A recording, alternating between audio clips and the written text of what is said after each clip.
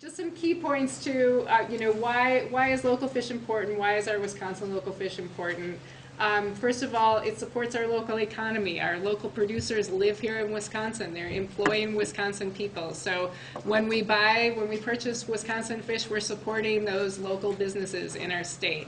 Uh, local protection as well. Um, our fish in both the Great Lakes and our, our Wisconsin fish farms are regulated by both the federal government and our own state government. So we have a stake in that protection of those water resources. Um, it's our, it's much, much different than the fish that's coming from abroad. Um, that's a whole different story. But the fish from here in the U.S. and in our state are regulated by our laws. And uh, uh, I would also say that um, eating local fish also gives people kind of that connection that I was talking about to their local water resources. And I think that's an important thing for all of us. Our Wisconsin water resources belong to all of us. So when you connect to those local resources, if you go fishing, you go swimming, if you eat the fish that come from comes from that water, that gives you a connection that's really difficult to get any other way. So I would just throw out those three key points there about our local fish. Um, uh, Emma talked a little bit about our Wisconsin farm-raised fish. A lot of people have questions about, well, what, what are our local fish eating? Uh, Wisconsin farm-raised fish, she said, are eating feeds that are regulated by the FDA. Those feeds are being tested. Um, fish as a protein source has a little different thing going on than uh, cattle or, or poultry. Um, fish live in water, and water is a different sort of uh, uh, chemical environment than land-based protein sources. So uh, Megan Williams from Wisconsin DNR is going to be here uh, talking next to talk about uh, contaminants in Great Lakes fish. Um, it's something that we wish we didn't have to talk about, but she's going to let us know why we are talking about it. Um, it's a legacy uh, for our Great Lakes, a legacy that we're hoping to put in the past, um, and things are getting better, but I will let our expert, Megan, talk about uh, Great Lakes fish. So before I get started with my presentation, I'm going to pass out some booklets that are called Choose Wisely. Oh, Kathy will do it for me. Sure. Um, this is available online too, so if you don't want to take it with you, that's fine. I'll just collect them so that they don't go in the trash or the recycling. Um, but we'll be looking through this book in a minute. Um, so, like Kathy said, my name is Megan Williams, and I'm an environmental toxicologist in fisheries at the um, DNR.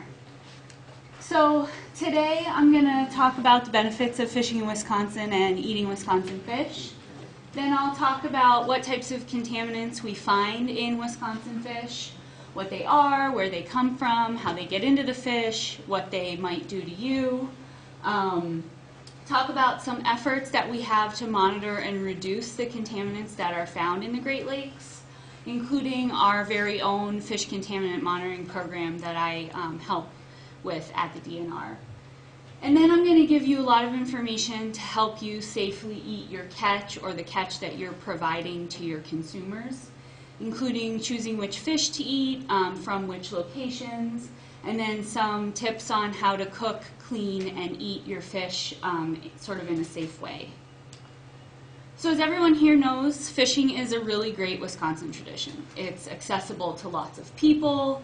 You can do it pretty much anywhere in the state because we're so rich in water resources. It's a great way to spend time with your family or spend time by yourself, which I know is a way that a lot of people prefer to fish. And also, eating Wisconsin fish is another great tradition. Whether it's a fish boil, fish fry, or some smoked whitefish, it's pretty much in the DNA of people who live here. So there are a lot of benefits to eating Wisconsin fish aside from um, supporting the local economy.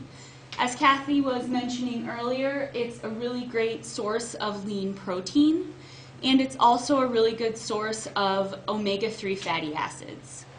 So one thing you might not actually know about omega-3s is that humans or vertebrates in general, um, actually we can't produce those naturally in our bodies. We have to get them from our diet. And there are a couple different types of omega-3 fatty acids. There's short chain um, fatty acids, which um, you might see as called ALA. And those are the ones that are found in different types of oils, nuts, and you might see them um, on some containers of eggs that you get at the store. And then we have our long chain omega 3 fatty acids, which are the super beneficial ones, and those are mainly just found in seafood. Long chain omega 3s um, are often known as EPA and DHA, and they're really good for reducing inflammation in the body, which is really helpful for heart health. And they are absolutely vital to brain and eye development, particularly in babies and young children. So this figure is kind of crazy, I'm aware of that. Um, it basically shows the amount of EPA and DHA that we've measured in an 8 ounce uncooked serving of all these different types of fish that we caught from the Great Lakes. And what I really want you to focus on here is this orange line. This is what's known as the acceptable intake level of EPA and DHA. It's the minimum recommended daily amount for healthy adults. And as you can see, which is awesome news, an 8 ounce serving of almost every fish that we um, have caught so far from the Great Lakes will provide you or your consumers with at least 250 milligrams of EPA and DHA. So this is really good news. Of course, uh, with many things in life, whether it's having a beer or having a fish meal, there are risks and benefits to consider. So in the 70s, um, people started to notice that there was a lot of mercury in the fish and started to be kind of concerned about this. Um, mercury is actually a naturally occurring element in the world. Um, it can be sort of dispersed into the air when volcanoes erupt or when there are forest fires but it also is released into the air in much larger quantities when there's industrial processes like um, coal-fired power plants or mining operations. And because it's released into the air, it can actually travel a really long distance from its original source. So even if there's not a lot of um, emissions right around your water body, it still means that there might be mercury in the lake because it came there on the air. When mercury goes into a water body, it goes into the sediments, and um, bacteria that live in the sediment sort of munch on it and naturally um, convert it into its toxic form, which is known as methylmercury. And mercury is actually found in all fish, um, no matter where you get it from. It's just a natural, mm, sort of natural part of um, fish. But in Wisconsin, um, mercury is found in the highest concentrations in some northern lakes. So another thing about mercury is that it bioaccumulates, which means it travels um, up the food chain in higher and higher concentrations. So we see in this little figure, we have mercury, methylmercury, it goes into the water. Um, low concentrations are found in invertebrates, um, panfish, inland trout, things that eat those invertebrates. Then medium amounts are found in smaller or younger um, predator fish species. And then higher concentrations are found in larger or older predator fish species like walleye, pike, and muskie. Um, mercury is found in the muscle tissue of fish. So keep that in mind and we'll come back to it. Um, something that is possibly more relevant to today is um, a class of chemicals called polychlorinated biphenyls, or PCBs. These are a group of man-made compounds, and they are engineered to be resistant to breakdown, which means that they last for a really long time in the environment.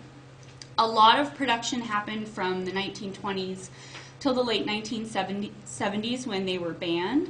And they were used in a lot of um, manufacturing processes, including um, carbonless copy paper, which is um, relevant to Wisconsin in particular. And unlike um, mercury, which is found pretty much across the whole state, in Wisconsin, PCBs are most often associated with industrialized river systems and the Great Lakes.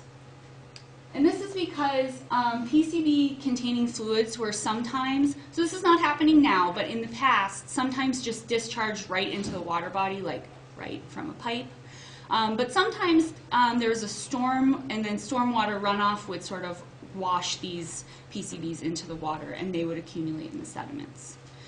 So compared to mercury, PCBs actually accumulate in the fat of fish. So that means that fattier species tend to have higher concentrations than leaner, leaner species. And then fish that live near the bottom of the water bodies have more than um, those that live higher in the water column because they're closer to that source. So you might wonder, what's the big deal? Um, mercury is actually um, what's known as a neurodevelopmental toxin. So if you have too high of that in your body, you'll have some problems with memory, learning, and your coordination. More recently, it has been linked to heart disease in older men, but really the highest risk we feel is to women who currently are or plan to become pregnant, and also um, young children, because this is a neurodevelopmental toxin. It affects um, the way the brain is growing. PCBs, on the other hand, are a class of chemicals called endocrine disruptors. And this means that they can kind of mess up your reproductive systems and give you problems with your thyroid, which um, controls a lot of different things in your body. And so, a high concentration of PCBs in your body is um, linked to an increased risk of cancer and diabetes or some immune system problems. And compared to mercury, PCBs are a risk for everyone, regardless of your gender or how old you are. So I told you all this bad stuff. You're kind of wondering, like, what are people doing about this? As you may imagine, there are a lot of collaborative efforts um, internationally, federally, locally to monitor and reduce contamination in, um, in Great Lakes fish. So it started with the Great Lakes Water Quality Agreement in 1978.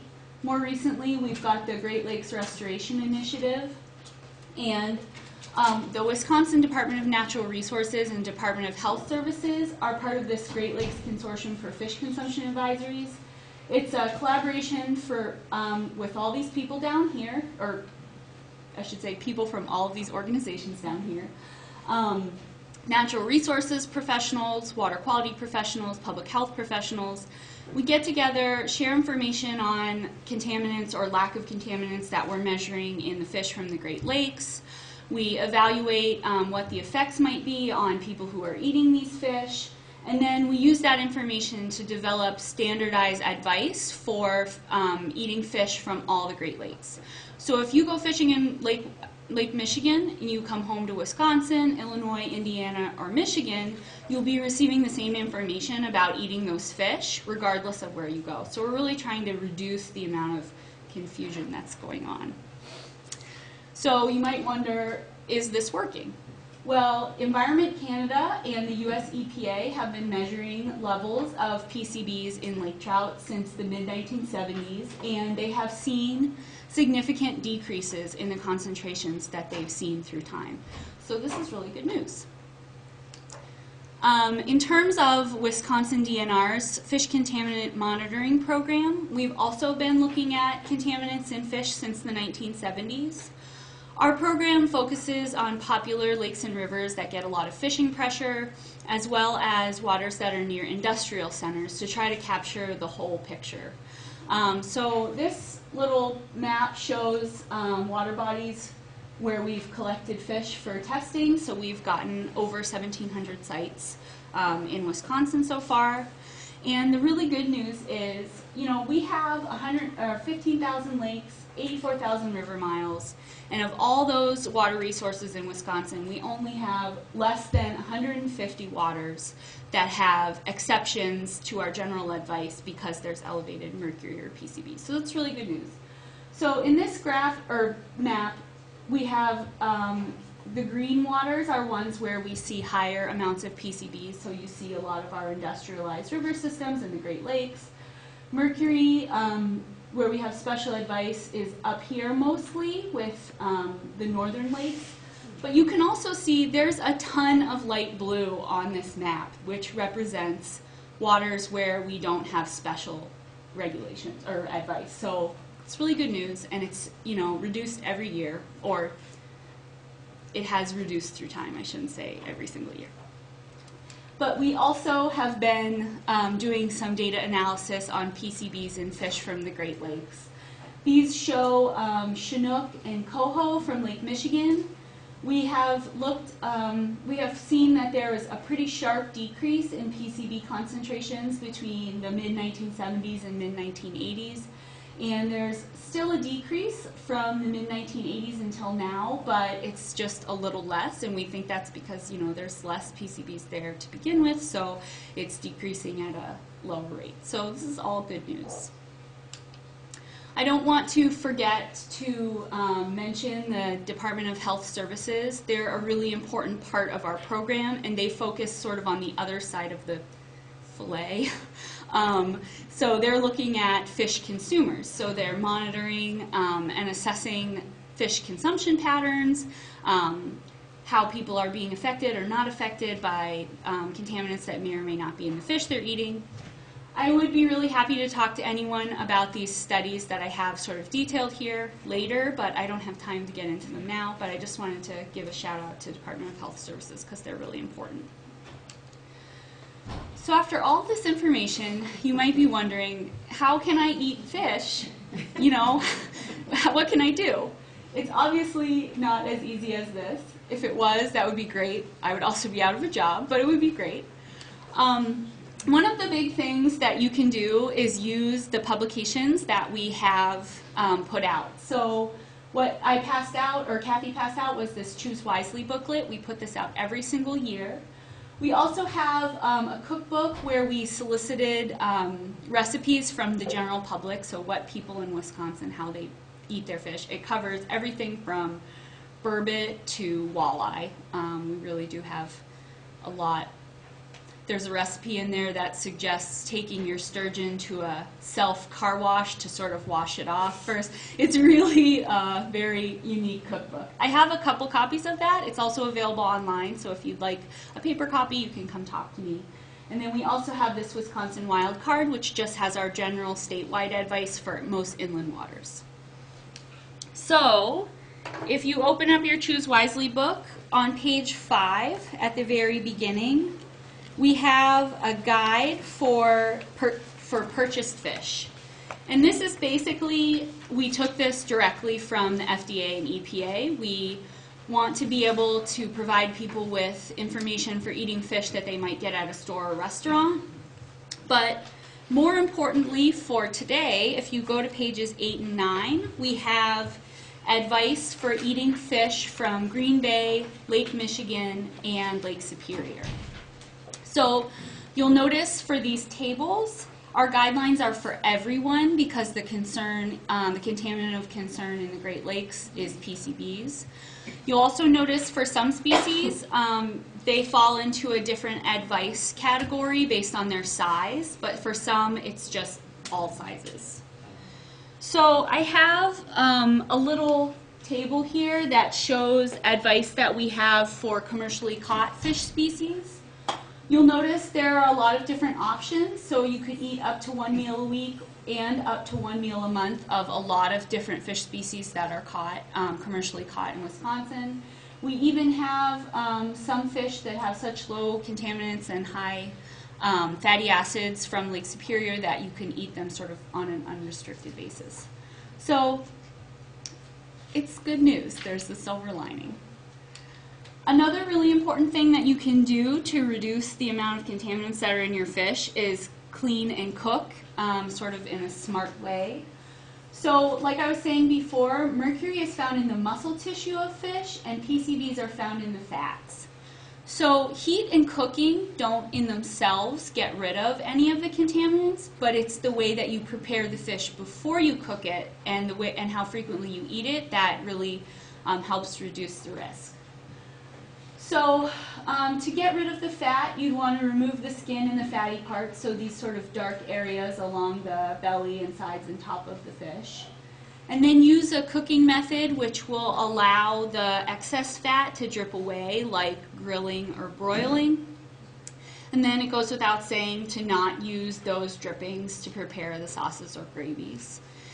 And mercury, um, since it's in the fish muscle tissue, you really can't clean the fish in a way that gets rid of it. But if you eat sort of low mercury fish or space out your fish meals, your body will actually naturally rid itself of mercury. So you can um, eat, you can still eat the fish, but just at a reduced frequency, and then you don't have as much mercury. For people here who will be providing information to your customers, you know, when someone comes into your restaurant or fish market, they're an adult, they can make their own decisions. It's not your responsibility to tell them what they should and shouldn't be eating. Um, but the big thing to do is really know your fish what species it is, where it came from, and for those that we have advice based on the size, know what the size of the fish is. If people want more information, you can suggest resources to them. So we have, um, at the DNR, we have a really nice website that's mobile friendly so people can use their phone. It's called Eating Your Catch. Um, the FDA and EPA have really good resources for seafood. Um, and when I was preparing for this talk, I found this Seafood Watch app from the Monterey Bay Aquarium. Um, I, I don't know if there are other apps like that, but it would be useful, you know, to just look in, on the internet and see if there are other resources out there. And then, of course, prepare the fish that you're providing to reduce the contaminants whenever it's possible. So if you want more information, you can go to our website and do a search for Eating Your Catch, and it will have a lot of um, links to our publications, reports that we've put out, um, frequently asked questions. We also have a mobile-friendly um, interactive query tool, so you can use the drop-down menu or the map. You basically just click anywhere on the map, any water on the state, and it will give you um, fish consumption advice based on that water body.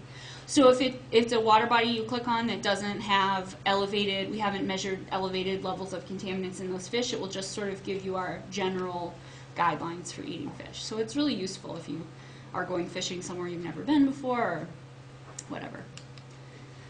So in summary, like I said before, as with most things in life, there are benefits and risks to consider, um, including when you're eating fish, including when you're eating Wisconsin fish. Um, the Department of Health Services and Department of Natural Resources, our goal in all of this is to help people keep eating Wisconsin fish. So we provide a lot of resources for people to make informed decisions um, about eating Wisconsin fish. And you know, you can safely incorporate them into your diet by following the advisories, cooking and cleaning smartly. So it's good news in the end. Um, so I want to say thanks for letting me come up here and talk to you about all of this stuff. Um, my contact information is at the bottom of the screen, and I think I have a couple minutes to answer questions if any of you have them, or you can come find me later. So, thank you.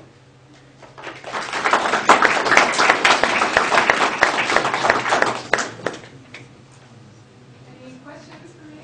Just, um, uh, not, everybody doesn't realize that all seafood worldwide does have some amount of mercury in it. That's just a fact of life. So I always tell people, um, especially women of childbearing age or, you know, worried about their kids or something, the, the fish in Wisconsin, um, you know, we just learned, it's, it's been, uh, it's been checked and studied fairly, fairly, uh, a whole lot since the 1970s. So I, I feel very confident eating Wisconsin fish because we've been keeping a close eye on it for several, several decades um, compared to the fish that we might be purchasing from Thailand. Um, that, that that people just aren't keeping an eye on that fish coming from abroad as closely as our Great Lakes fish have been monitored. So uh, I think that you can feel very confident if you're worried about contaminants, if you're following the advice by the DNR and the Department of Health Services, you really don't have anything to worry about because they've been, um, those are very, very uh, uh, restrictive. I, I, they're looking out for children and women of childbearing age. So that's what I always like to point out. Um, so we're talking about Wisconsin fish today, but we did decide to invite somebody from Michigan. Thank you. I'm a Packer fan. Um, I attended the Michigan Seafood Summit last year, so it was the first annual Michigan Seafood Summit. So we're coming to this a little late, um, but uh, we've invited Ron Kinnunen from Michigan Sea Grant to come talk to us about. Uh, Ron's been working on uh, whitefish marketing for quite a, I mean, Right. decades? Through my whole career. Through your whole career. So, you know, we're not the first ones to jump on the local fish bandwagon, and uh, Michigan's been doing quite a bit. They're our neighbor. We're sharing some water with them, so uh, we want to hear what's been going on in Michigan. They're actually going to be hosting their next summit in April, right? April 8th in Traverse City, yep. Yep. So, um, take it away, Ron. Okay, thanks Kathy. Okay, I'm going to talk to you uh, about a marketing project we did with Great Lakes Whitefish. Uh, We had funding uh, through the National Sea Grant Program, and these are some of the colleagues from Michigan Sea Grant that worked with me on the project. This was several years back. And again, everybody, I think Titus covered a lot of this thing. It's a very important cold water fish species in the Great Lakes. Uh, It's one of our most uh, caught fish in the upper Great Lakes.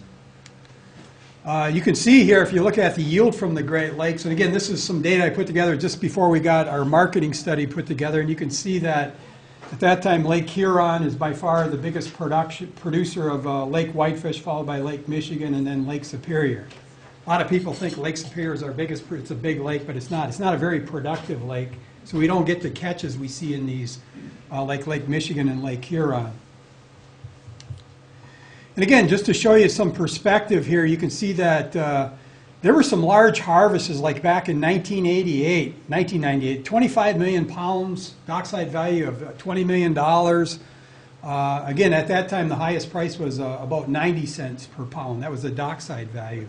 And that's why we started this project, because a lot of the fishermen were concerned about low prices on the dockside value. And in recent years, that dockside values have actually sometimes exceeded two dollars, almost three dollars, depending on the demand for that fish. So the value has actually gone up in recent years since we've been involved. And you can see we have both. Uh, uh, you can see the values here and also the the catches. So, and again, if we look at uh, the yield in U.S. value, uh, the U.S. basically harvested uh, in, in 1996, which was a peak then, it was 13 million pounds, dollar value of a dollar four per pound. That was in 2000. Canadian harvest was 12 million pounds. That was in 98, 2000. Peak value of 84 cents per pound in 2003. And Titus showed some of this in, the, in recent years that there has actually been some decline in harvest, and Titus covered that. There's been a lot of issues with invasive species, especially the zebra and quagga mussel, which actually has hurt the food supply for whitefish. The disappearance of a major food source, Diporeia, has almost disappeared in Lake Michigan and Lake Huron. So that has affected whitefish. Even uh, growth at age has decreased. Uh, so there's been a lot of issues with uh, the growth of that fish. And again, you can look at the harvest. It's about half and half between the U.S. and, and Canada. And again, I don't have to go into this. Titus covered it very well. These are trap nets, and then we also have gill nets. These are the major uh, fisheries we have in the Great Lakes for, uh, for harvesting whitefish. Some of the marketing needs that we looked at when we got into this pro- project is increase uh, product identification and consumer awareness. And we've been talking about people want to buy local foods, they want to know where their food comes from. We wanted to improve quality control and product consistency. So there's a lot of moving parts in this project. We actually even had a guy come down from Alaska that uh, did a lot of work with the Alaska industry, and we looked at a lot of stuff. Uh, he's written books on freezer, freezer, how to freeze these fish. A lot of stuff we didn't even think about, how fish go through rigor, rigor mortis, when do you freeze that fish? A lot of people don't even think about this. People have written books on this stuff, so it's very important when you get into this stuff. If you're going to get into freezing, how do you freeze that fish? We wanted to expand the value-added uh, uh, product development and then in- im- uh, minimize impacts from low-cost imports. I'm going to show you some of the issues with some of these imports that compete directly against our Great Lakes uh, whitefish. Um, We look at product form. The restaurants in the north central region typically purchase frozen rather than fresh fish uh, or fresh seafood uh, products. Uh, If we look at it, frozen seafood products typically account for about 80% of the north central regional restaurant seafood purchase. In contrast, if you look at the east coast, 75% is actually in the fresh food. It's not frozen. So there's a lot of differences when we look at these markets. This was a North Central Regional Aquaculture uh, a project that was conducted years ago. And again, you can see the way this is broken down here, where again, uh, frozen is very important in our region. We look at changes in consumer preference. And uh, the trends favor major distributors. There's an increased demand for processed, ready-to-eat products. There's also an aging population that is becoming more health conscious. And you can see Kathy's talks, even some of the new guidelines are telling to eat at least a couple of fish meals per week. More people are getting in tune to that. And again, we look at the structural changes in the industry. There's been a lot of changes, small operations, or years ago we used to just ship a lot of our whole product out. We didn't do a lot of additional processing. We just accepted the low price, didn't do any value added, and boom, it, it went out. Uh, this is a big corporation up in uh, uh, Manitoba, Lake Winnipeg area, uh, the Freshwater Marketing Board up there. It's a crown corporation. So we compete against that. A lot of people don't realize how much fish comes from just north of us for some of the same fish species we take out of the Great Lakes or grow here on a commercial scale. Uh, again, everybody's heard about NAFTA. There's expanding development in these third world cultures. We heard about aquaculture earlier with Emma's talk, with what's happening overseas. Uh, there's greater consumer selection when you go into a store. Go into Walmart, you can see all these fish coming from all over parts of the world. There's more fish and seafood imports, and there's growth in domestic and international aquaculture. If we look historically on whitefish prices, we're dictated by supply markets, uh, with the majority fish going into uh, basically New York, Fulton Fish Market, and also Chicago. So you can see that, again, whitefish is a, a lot of it goes into these New York markets. Fulton Fish Market, there's a lot of demand at certain holidays, especially in the Jewish communities out there, for this lake whitefish. A lot of it goes into Acme. They smoke, they're the, probably one of the biggest smokers out on the East Coast where this whitefish moves into those markets. Fulton Fish Market is a, is a big player here. Uh, sh- Ship fishing from all over the world, uh, played a primary uh, role in setting prices for many fish uh, throughout the country. There's a lot of issues how it was controlled. There was, you know, underworld control. I know when Mayor Giuliani there, he tried to clean up the Fulton Fish Market. There was a lot of issues how a lot of this, there was a lot of price fixing going on. So there are a lot of issues there. Then we had 9/11. This is the Fulton Fish Market right here, and you can see what happened. What happened when the biggest part of our fishery goes into the Fulton Fish Market during the Jewish holidays. That thing came down just down the block from the Fulton Fish Market, and it affected our industry during that time in 2001.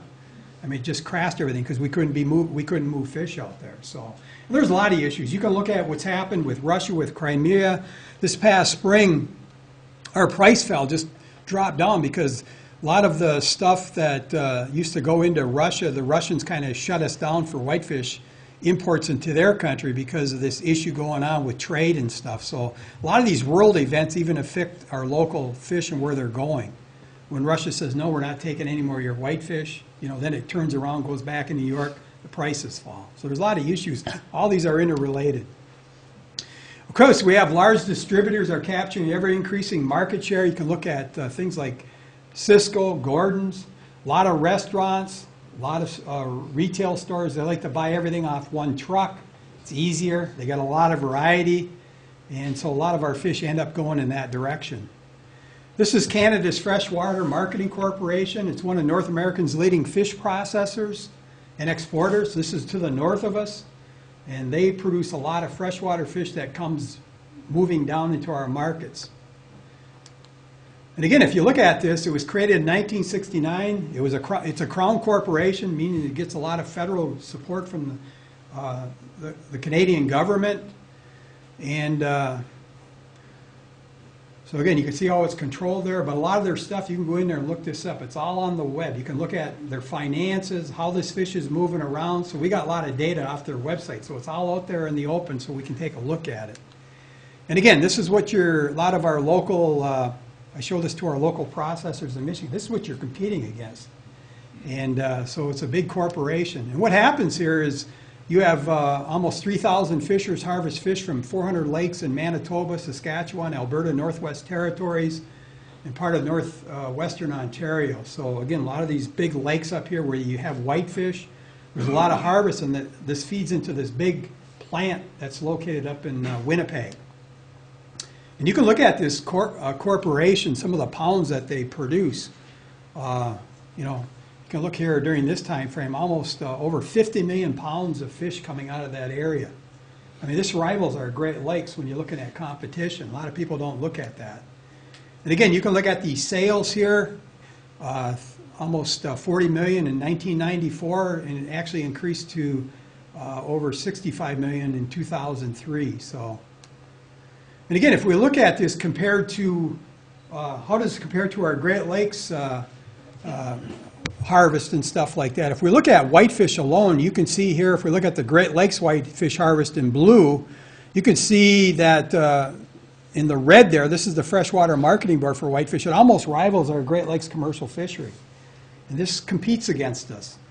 And we see a lot of this fish come floating into the United States here. A lot of our stores like Meijer's in Michigan, our big chain stores, they always talk how they want to buy local. Well, you go into their store, it's not local. It's all coming from that freshwater marketing board. And they buy for three reasons. Price, price, price. That's what they look at. They look at getting a lower price, and that's what they go after. Let me go back to that. You can see that uh, these Aboriginal fishermen up in Canada, you can see the high price they get their fish compared to our Great Lakes fishers. They don't get paid very much. And a lot of this is uh, very low prices for what they, what they move into that operation. Again, this is interesting. We heard about uh, how our fish is moved around. This is, again, another good example here. You can see here that this is actually, they call it a product of China. It came from Canada, it was shipped to China, this whitefish, processed there. So it had been frozen on the way over, thawed, processed, shipped these fillets on the way back, frozen again. This actually appeared in uh, Jim Thannum from the Great Lakes Indian, Fi- he's, Indian Fish Wildlife Commission. He bought this in Ashland, Wisconsin. I seen this in Marquette, Michigan.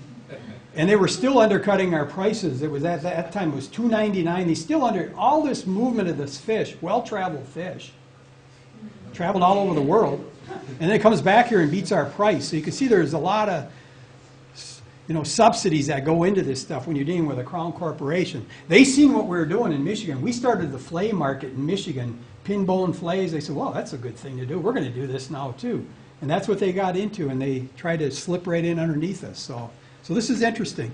We do have a regulation. It's by the U.S. Uh, U.S. Department of Agriculture called the Country of Ori- Origin labeling, COOL, and uh, country of origination. And they have to actually put on there how it was produced, whether it was wild caught or aquaculture, and then where it was produced or where it was processed. So, and I don't see it's enforced a lot, but it is ten thousand dollars uh, per violation if it's in a retail store that doesn't have that label on there. And these are, they have a list of these. These are special. They call them PACA stores, how much produce they sell in these stores. And these are required only for the big retailers across the United States, like your big stores like Kroger's, Meijer's, I don't know what you have here, Cubs, stuff like that. These are the big retail stores. They have to have those labels on these packages. And it is subject to a $10,000 uh, fine violation if they don't have it on there. Some of the initiatives that this freshwater marketing board doing, they again they had these whitefish fillets. They were watching what we were doing in Michigan. They did a lot of market development. They did customer focused workshops. Market research was un- undertaken in key markets. They were coming down into the Twin Cities. They were inviting chefs from this region up to their areas. They were trying to encourage these chefs to buy their product, even though we had a lot of Great Lakes product. So they were doing a lot of education. They created new point of sale materials. And again, they developed this processing capacity for uh, this pinbone and whitefish. And again, you can see some of the stuff they developed. Uh, and I think your omega 3s are a lot higher than you have in your chart with your fish. you got to check that out. I think you can double it. Yeah, we need to update it now Uh, because it's from a- I mean, this matches what we have in Michigan, some of the data we have, and actually, you should actually double it because you have a more omega-3s in your fish than you have on your Eat Wisconsin, so you might as well hype it some more because you have twice as much, I think, in reality. And again, this is about the same numbers we have that we use in our Michigan promotion too. And again, this is some of the promo, but they do this with every species they have coming out of those lakes up there, whether it's walleye, pike, they have a unique fact sheets. They educate chefs. They get into how much it's going to cost, how much you can make in the restaurant. So they break everything down, how much money you're going to make off their fish for these restaurants and stuff.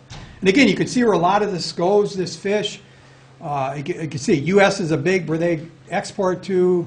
Small part stays in uh, in Canada. You can see other countries that are buying this fish is France and Finland. Some goes into Germany, Poland. What we did when we'd had this project, we actually had a, a a kickoff meeting, a program with the commercial fisheries uh, representatives. Uh, We actually used our, we also have a center at Michigan State that we worked with. And we also worked with a consulting firm, uh, Newhall Klein. And these were the people dealing with Newhall Klein. These were marketing experts. They do a lot of marketing around the country. So we had funds to actually pay to them to come. And what we did, we had participants. What we did with these consultants, we built a, a knowledge map. And you can see a lot of the different fisheries that were represented. I know Mike Parkinson came over to some of our meetings. He's out of Green Bay. He buys fish here in Wisconsin, from Michigan. Uh, We also had adding knowledge, we had, uh, again, other people involved with us on the second day. We had even regulators that were involved from the tribes, different governments, the DNR. So we had a lot of different mixes that were involved with, uh, with this project as we kicked it off. And what we did here is, we met over a lot of issues. These marketing people kind of took over the meeting. We actually pulled a lot of information out of the, the main players that were involved with the whitefish industry. And what we did is uh, a lot of discussion that happened, a lot of information was put up on the board, a lot of it was rated, and that's where we got into this uh, knowledge map. It was all grouped up. What were what was the industry looking for? What are the main things that we should be looking at when we moved ahead with this marketing project? And again, this knowledge map was developed by the industry itself and government representatives. And it represents basically what this group of people knows to be true and current with the industry today. And that's where we wanted to get this information. And again, you can see a lot of the different segments that came out of this knowledge map. And again, a lot of different areas dealing with the different things that we wanted to take a look at. And we found out that there's, uh, what needs to be done, there's roles for fisheries, there's roles for processors, distributors, retailers. And what we did uh, with some of this is we wanted to, we got into some sensory analysis for lake whitefish. And we used our, we have a sensory analysis lab at Michigan State in our food science department. It's a pretty good food science lab. It's pretty renowned in the United States. What we want to do is compare Great Lakes whitefish to Canadian inland lake. We want to see what our competitors doing. How did that, how does that line up to our fish? How does it compare? Then we wanted to compare Great Lakes whitefish, uh, both fresh and frozen. A lot of people say, I don't eat frozen fish. I don't like frozen fish. Well, we work with our industry where we produce a nice product with this frozen. If it's done right, I've done some quality control, quality assurance programs with our people that get into this stuff, where they, how they do it. If they do it properly, it's a, it's a very good product. And then we also wanted to compare the Great Lakes whitefish to other popular fish species, especially aquaculture fish. How does that compare to aquaculture fish? We see a big movement in that area. So those are three things that our industry wanted to take a look at. We moved these projects into our lab. We did different experiments.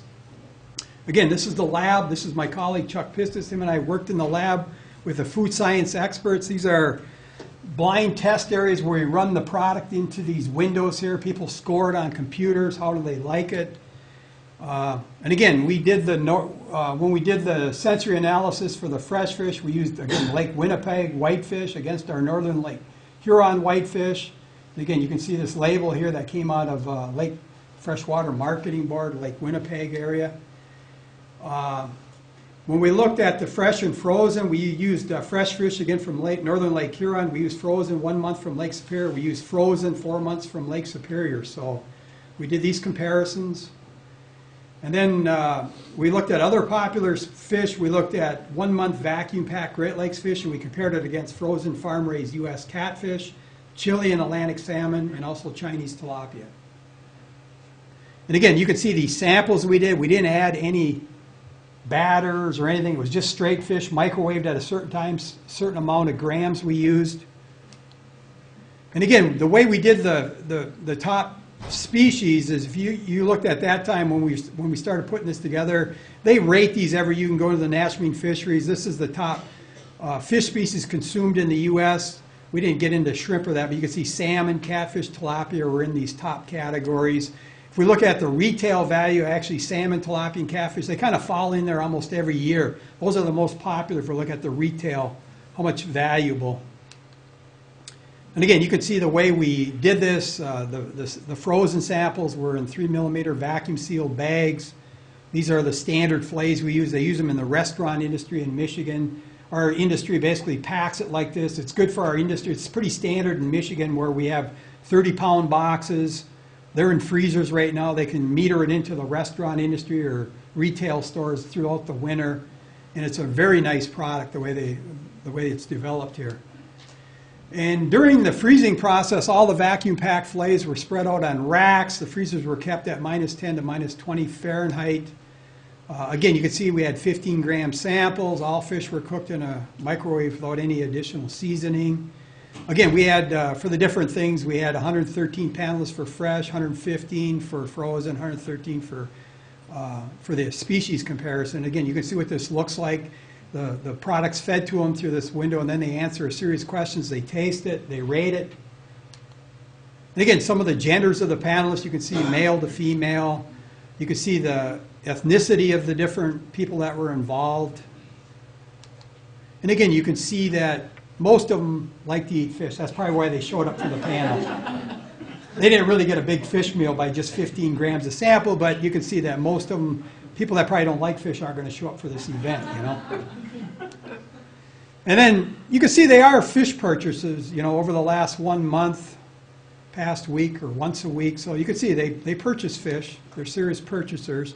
You can see, again, they're purchasing fresh product, frozen product by far, and then restaurants are a big part of it too. And you can see where they purchase, usually supermarkets or a restaurant, which falls into what we see here. And then if we looked at the cooked lake whitefish, whitefish appearance, you can see for the Great Lakes, again, our panel, over half thought that we were better than the inland lakes from Canada. Some people thought there was no difference, but you could see, uh, again, we rated pretty well against that. We look at texture preference, again, you can see Great Lakes rated higher than the Canadian product. And if you look at overall acceptability, again, we can see that we were beating this inland lake product. And these inland lake products, if you look at them, that this whitefish that come out of the inland lakes, there's a lot of things that can happen in these inland lakes. You get algae growth, you get off flavors in the fish, uh, the way it's handled, it's got to come back into the United States, the way they process it, is it frozen properly?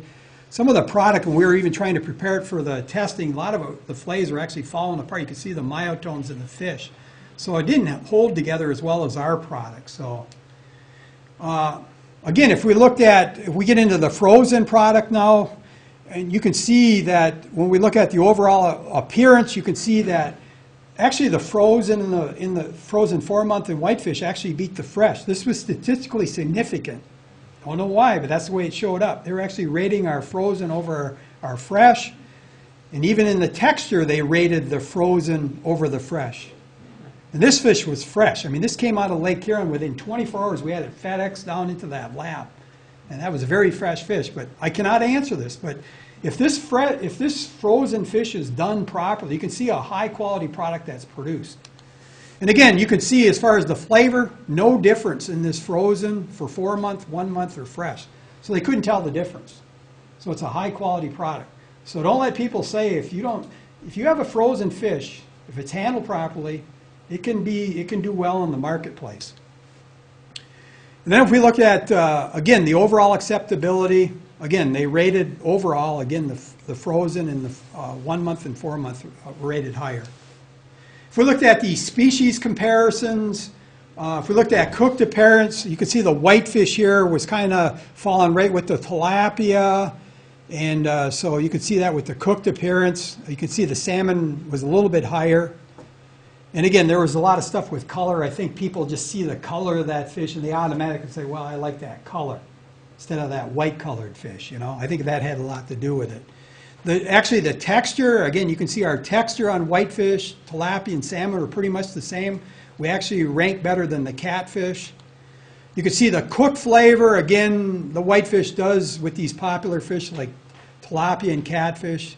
Uh, the salmon was a little bit, they rated a little bit higher than the cook flavor than those other three species. Overall acceptability, again, the salmon a little bit higher. But again, you can see that our whitefish, it does just as well as our popular fish that are on the top market anywhere in the United States every year. So it does, it does quite well. Again, this is some statistical stuff. We looked at consumer labels too, how they preference, and we actually found that wild caught Great Lakes rated the highest. China, China tilapia was low. We rated higher than the farmed raised catfish and the farm salmon. So you can see that they like that wild Great Lakes on the label. So our rate's pretty high. So if you want to look at putting that on the label, I think it gives a little extra boost to your product for anything coming out of the Great Lakes.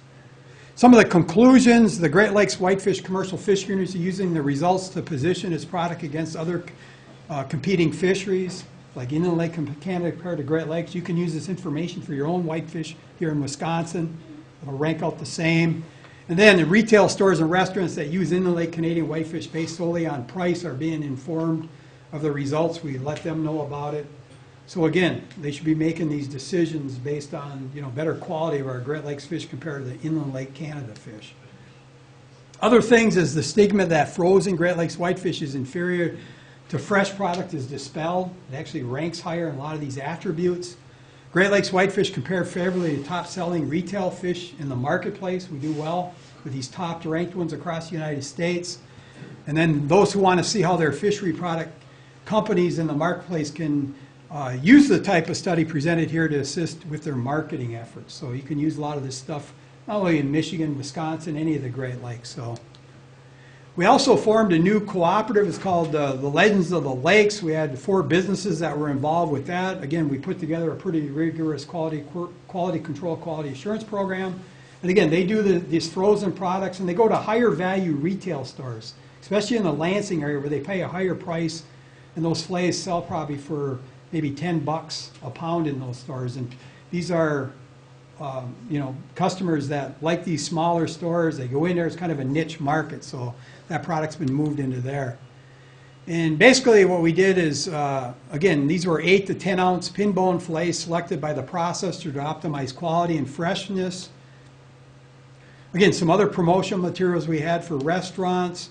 We also developed a, a Great Lakes Whitefish website, which promoted a lot of fishing families. People get to see where their fish comes from. They see families on there, the pictures there, where they're located, where they can buy the fish. We also use this guy. Uh, this guy was a popular chef a lot on our PBS station in Michigan, Emmy award-winning television program. Eric Villegas. He did a couple programs for us on Lake Whitefish, promoted our product. Again, we did a lot of these stuff, these objectives. We did the market assessment, management plan. Again, new handling processing techniques, value added, market acceptance, uh, brand labeling, value added, uh, and then also diversifying the harvest. These are some of the things we looked at. Uh, with that, I'll take any questions. I my time's up. But we also took the, the fishermen and the processors into a big uh, show in Schaumburg, Illinois, where 300 chefs from the region get together on a yearly thing, and we actually brought the product down there. Not only the fresh fillets, we hosted a dinner. We had smoked product. We had smoked whitefish sausage. We had whitefish livers, which are a delicacy. You go to Maggie's restaurant up in Ashland, Wisconsin. They sell that for I don't know, probably twenty dollars a plate. A lot of people don't realize that whitefish livers are a delicacy. Uh, the caviar out of whitefish, I think, is number five in the world for caviar. A lot of our product from the eggs that are shipped over into the Scandinavian countries. So, so there's a lot of things we did with this uh, with this project, which actually increased our dockside value of the fish. So, it's been a pretty good project. With that, any questions? Yes. I got a quick one, just on the stuff that's shipped over to the other European countries and processed and then sent back, has anybody looked at contaminant loads in those fish, like picking something up over there where they process before they come back? The FDA has, uh, you know, I, I teach seafood HACCP programs in the Great Lakes. The FDA goes to a lot of these bigger firms that do that, but they can't, probably they only look at 1% to 3% of the product. So a lot of it ships through, but they do, they're supposed to do some spot checks. I can't say they ever spot check this fish at all. Uh, but they do send people and they look at those concentrated zones. But China is a hub for world fish processing. So they are there. They're into these big plants like, you know, Starkist tuna or any of these plants, whether they're in Thailand or over in Africa that are doing this stuff. But again, a lot of it, it's not all looked at very closely. Where can you buy whitefish sausage?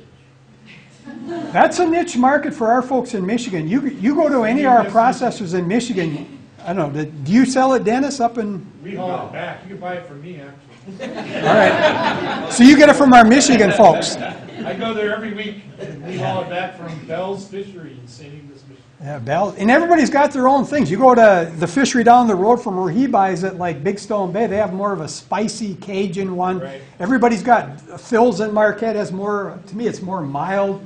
Everybody's got their own little secret recipes. Put in your wish list, we go to all. Yeah. We also developed a Great Lakes Whitefish Cookbook too, which has chefs from all over the Great Lakes, from the chef from Mackinac Island at the Grand Hotel. We have a famous chef from the Twin Cities. We even have local fishermen with their recipes.